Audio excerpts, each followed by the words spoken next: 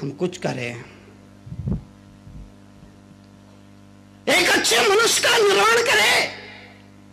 एक अच्छे समाज के निर्माण के लिए अच्छे मनुष्य का निर्माण करना अनिवार्य है, परम आवश्यक है। लोग मुझसे पूछते हैं, मुनि जी, आपके पास पहनने के लिए एक जोड़ा भी नहीं, फिर आपने ज़िंदगी में क्या जोड़ा है?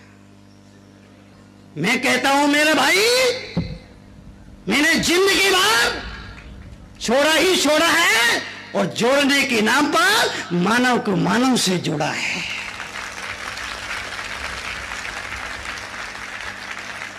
मैंने ज़िंदगी भर जोड़ा ही जोड़ा है। मैंने ज़िंदगी भर जोड़ा, छोड़ा ही छोड़ा है। और जोड़ने के नाम पर मानव को मानव से जोड़ा है। आप सब लोगों से गुजारिश है। अगर आप तरुण सागर का कहा माने तो अपना तन बीवी बच्चों को दे देना। चल जाएगा।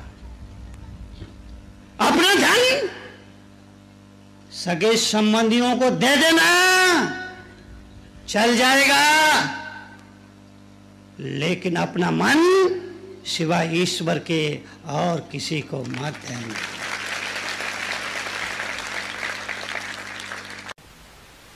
ज़िंदगी में कभी दुख आता है तो घबराने की ज़रूरत नहीं है। परेशान होने की ज़रूरत नहीं है। उसे भी स्वीकार करो। जो भी दे दे मालिक, तू कर ले कबूल। कभी कभी कांटों में भी खिलते हैं फूल। जो भी दे दे मालिक स्वीकार करो। जीवन में परिवर्तन लाना है। जीने का ढंग बदलो। परिवार नहीं बदलेगा।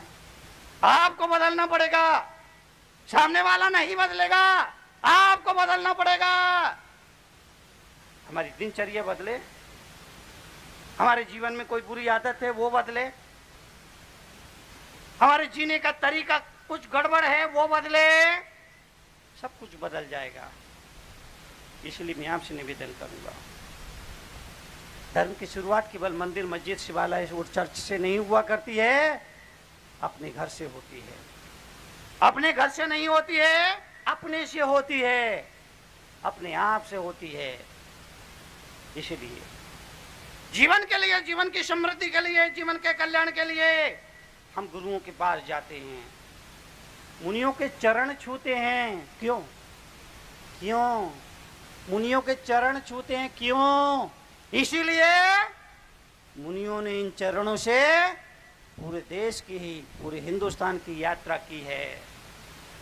मुनियों ने इन चरणों से तमाम तीर्थों की वंदना की है।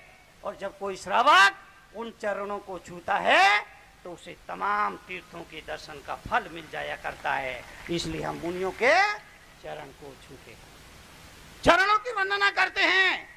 जीवन के लिए, जीवन की समृद्धि के लिए हमारी संस्कृति ने दिखाया, चरणों में झुकना, चरणों में आचरण होता है। हम भी उसके अधार बने, इसलिए हम चरण वंदना करते हैं। लेकिन आजकल आजकल कभी बहू को सास के चरण छूने की ज़रूरत पड़ जाए, शादी विवाह होती है, कई प्रसंग आते हैं, बहुओं को अपनी सासू के चरण छूना पड़ती हैं, पैर पड़ना पड़ती है तो कैसे पैर छूती है?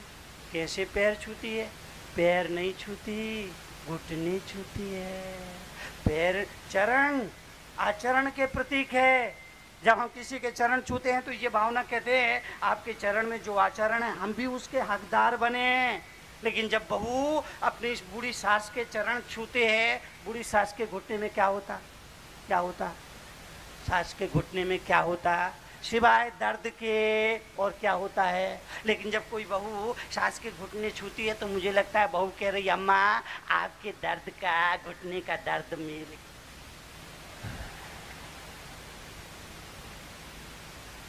जीवन के लिए, जीवन की समृद्धि के लिए संतों की चरण वंदना की जाती है। चरण वंदना इसीलिए की जाती है, हम भी उस आचरण के हकदार बने। पर याद रखना, संत के चरण में रुकना सरल है।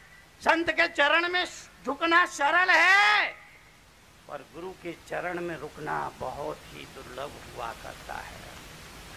झुकना सरल है। झुकना सरल है, पर रुकना रुकना